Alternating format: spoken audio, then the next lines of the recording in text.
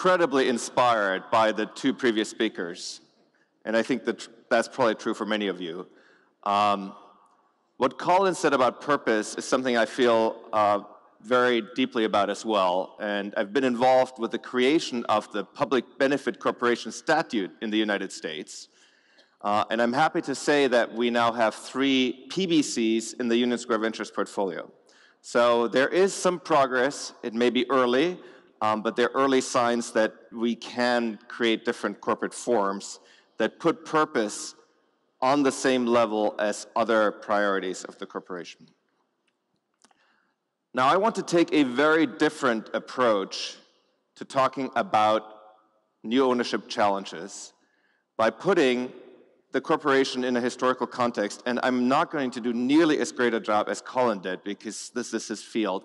Uh, in fact, I'm going to take a highly, highly abstracted view, and I'm going to strip away all the beautiful detail that Colin provided to try and focus on one very specific aspect. And I'm going to do so by placing the corporation in a brief history of all of humanity. And voila, there you go, here it is. Conveniently grouped into four big ages.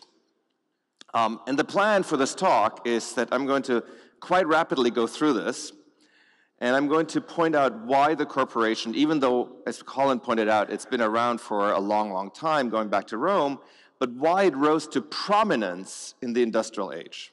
What was specific about the industrial age that made the corporation and its ownership so important? And the reason for talking about that is because we're really here we are with one foot firmly in the industrial age, and we have another foot that yesterday I learned to do this, I think. We have another foot that's kind of groping for a new age, which many people refer to as the information age. That, by the way, I think is a terrible misnomer, and if I have time, I will explain why I think that's a bad name. So with that as the program, let's jump right in. Forager age, Homo sapiens is around 250,000 years or so, and during that time, the kind of defining scarcity for humanity was food. Your tribe either found enough food, or it starved, or it had to migrate. And as a result, the rough organization of humanity was that we were migratory, we had these very flat tribe, tribal organizations, we were most likely promiscuous, um, and we had these animistic religions where every rock, every animal had a spirit in it. Fast forward to about 10,000 years ago, and 10,000 years ago, we made some big technological breakthroughs. We discovered that there are seeds, you can put them in the ground, you can pour water on them, and they grow faster, and you can domesticate animals.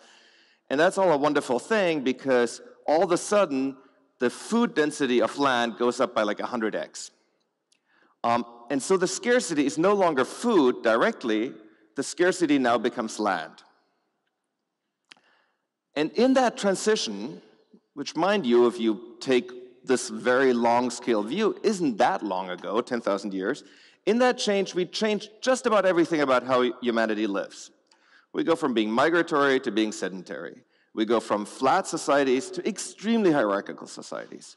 We go from being promiscuous to being monogamous. Um, we go from animism to theism. Suddenly we have all these religions that have deities in them. So lots of big, big changes. Then, much more recently, a couple hundred years ago, we come upon the Enlightenment. That's a very good thing. And with the Enlightenment comes science. And with science, we can do all the sudden amazing new things. We can make fertilizer. We can build tractors. And as a result, the scarcity shifts again. With the industrial age, the scarcity is no longer land the scarcity becomes capital. By capital, I don't mean financial capital, because we don't, you know, plow the fields with um, dollar bills. It's tractors. I mean physical capital. We don't clothe ourselves in gold coins. We wear clothes that are made somewhere. So the thing that matters all of a sudden is the formation of physical capital. And as we make this transition, we again change just about everything of how humanity lives for the most part. We move from the country to the city. Instead of living in extended families, we live in the nuclear family or no family at all. It's, there was a lot of commons, all of a sudden we have private property everywhere. Um, we changed theology. When religion told you before you're a farmer and you know we're going to tell you how to be a great farmer but you'll never be a noble person now we have the protestant work ethic work hard and the harder you work the better off you will be so again we've kind of changed a lot of very fundamental things now one other thing that we change and we changed very profoundly during that time is how we organize economic activity we go from mostly markets to markets and firms, and firms playing a very, very dominant part of the economy. And why is that? Well, in all of human activity and organizing human activity, to some degree, there's a trade off between motivation and coordination. What do I mean by this? It becomes clearer when we place the market on this map. So if you think of a market, a traditional marketplace um, and I'm going to use shoes as an example. You go into a market and there are different people selling shoes, handmade shoes. This is going back to the agrarian age, let's think. Um, that market index is very high for motivation. As a shoemaker, I want to make good shoes so that people will buy my shoes. But it's very uncoordinated. In fact, it's purposefully uncoordinated. I'm going to make different shoes from the person who's selling shoes next to me so that you'll buy my shoes, not their shoes. So it's great. It really brings out a lot of motivation. I will take a lot of pride in my craftsmanship. I want to make the best possible shoes, so people are going to go buy my shoes. Now, the firm, on the other hand, turns out to do great at coordination. Let's say all of a sudden we have machines and we're going to make our shoes using machines. And we're going to break the process of making a shoe down into different stages. You know, one person just does one stitch, the next person uses a different machine to do a different stitch, the next person uses a different machine to attach the sole. Now I need this coordination problem. I need those machines to operate much of the time. I have suppliers who are bringing in leather. I need the machines to operate so that the leather doesn't pile up. I need the stuff from the first machine to make it to the second machine, to the third machine. It all needs to be really coordinated activity. I'm going to make the same shoe that's another form of coordination. And this is why the firm becomes very important. Because what the firm does is it mutes incentives. That's why it has less motivation. When I say the firm mutes incentives, what do I mean by this? Well, let me explain it a little further. Capital is a big investment. It's a bunch of machines that I had to put in a place. And I'm going to start paying people. I'm going to say to them, look, I will take care of selling it. I will take care of producing the supplies. You just take care of this one thing that I'm asking you to do. And in return, your pay is just going to depend on that one thing. I'm either going to pay you some hourly wage or maybe I'll pay you a piece rate. But I'm going to have you just focus on this one thing. And I'm, that's muting incentives because why? If I pay you an hourly rate, now it no longer depends on your output. So maybe you'll start to slack off and make fewer shoes. Or if you pay, I pay you a piece rate, maybe just go really fast, but you don't watch out for the quality. So in the market, my incentives were to make the best possible shoes. In this new system, I'm highly coordinated, but I'm no longer have the same incentives that I had in the market. And because, if you remember my earlier big picture history of humanity, because capital was the scarcity in the industrial age, that's why the firm really rose to extraordinary prominence, because the firm has that ability of coordinating labor around capital and thus make capital powerful by muting the incentives that existed in the market.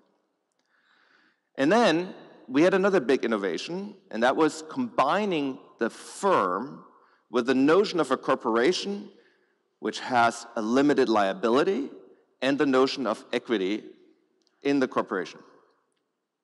Um, every spring, I teach a class at NYU for MBA students, and I always ask the question why do firms require financing? And I'm always amazed to see that very few students can give a short and precise answer to this question. The short and precise answer is Die präzise Antwort ist, dass äh, Outflows, also Cash Outflows, oftmals auch von That's why firms require financing. If you can make cash come in first, you don't need financing. And I highly recommend it. It's much better than taking money from outside investors. So that's why firms require financing. And then having limited liability is an extraordinary innovation because it means that somebody who provides capital, like myself, if we invest $5 million into a company, the most we can lose is $5 million. We're not going to go to jail. We're not going to lose $100 million. And that's because of the limitation on liability, unless we commit fraud, let's say. And that's important because that allows for risk taking, and risk taking was very important to allow for innovation. And having the equity piece also makes it possible to take debt financing where the debt is much more secure because the equity can grow and shrink and absorb some of the risk. So this was an important innovation, and we shouldn't forget that this innovation made this financial innovation and this organizing of human activity innovation made a lot of the other innovation possible that we now all benefit from.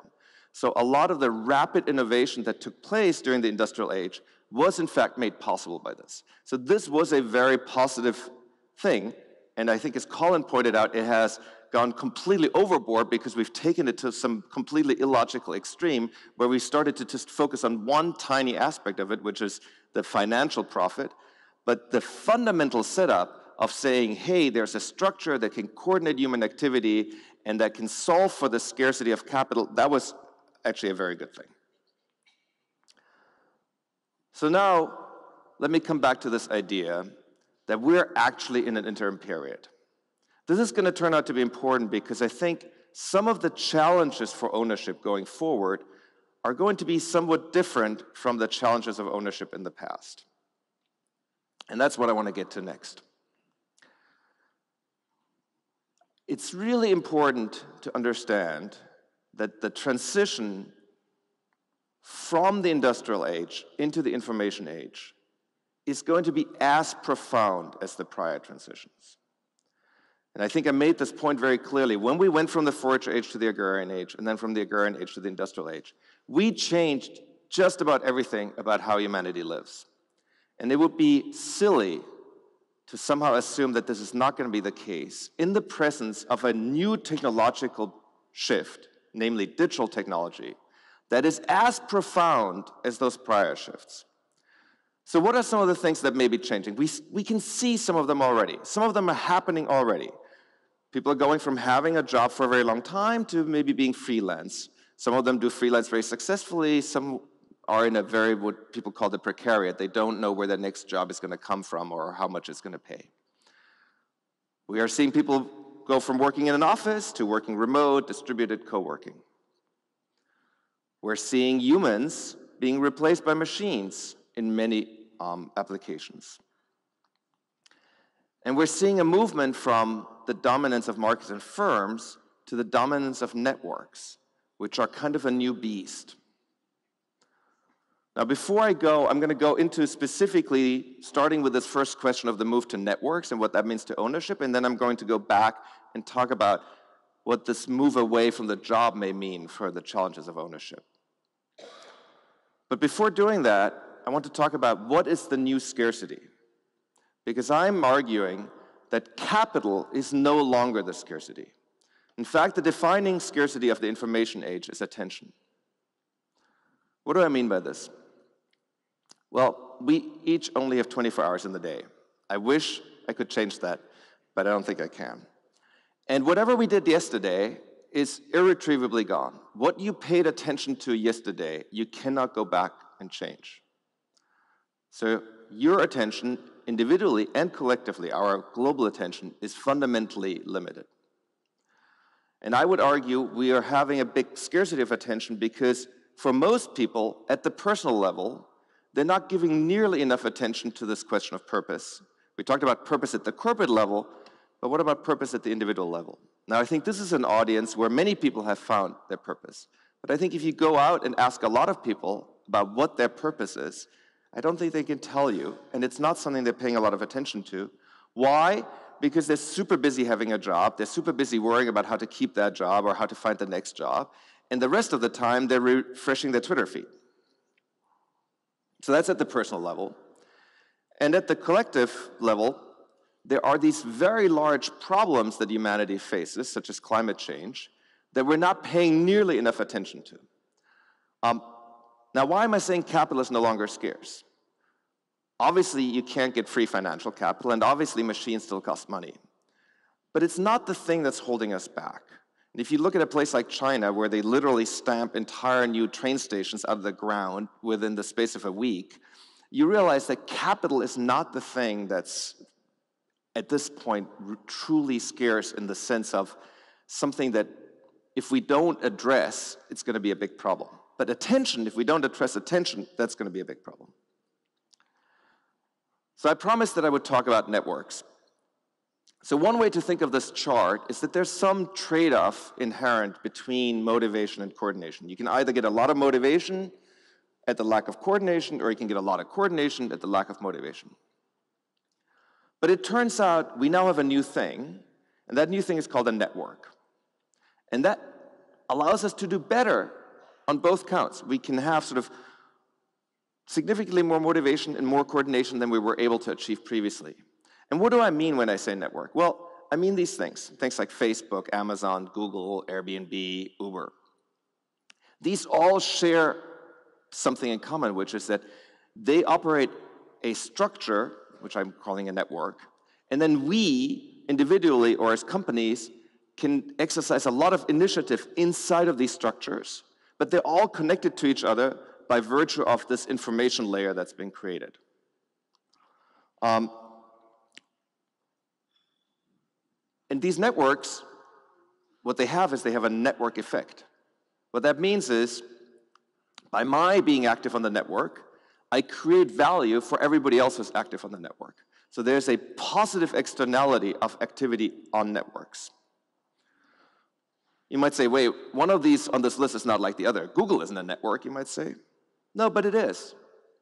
Every time you search on Google, you actually make Google a little smarter about the kind of thing you're looking for. And so if I subsequently or somebody else searches for that, Google is actually better. That's why it's been so hard to compete with Google because the search volume is actually a network effect. So these really are dominant networks. Networks are great. It's amazing that this technology makes networks possible, but they raise really interesting challenges. One of the challenges is that they have a lot of market power. Because of the network effect, there usually is a dominant network, and that dominant network is usually much, much larger than the next network. That's one problem. Another problem is that those networks that exist in the media space their interest is really in hogging our attention, the very thing that's scarce in the information age. Let me um, explain this second point, this attention hogging point, with the example of Facebook. And um, full disclosure, we were the first investors in Twitter, so um, we, we, we, Twitter is certainly no exception to this attention hogging problem. So on the one side, you have a chart of uh, Facebook's user growth. On the other side, you have a chart of uh, Facebook stock price. And basically, the idea is very simple. The more of global attention that Facebook hogs, the more valuable Facebook is.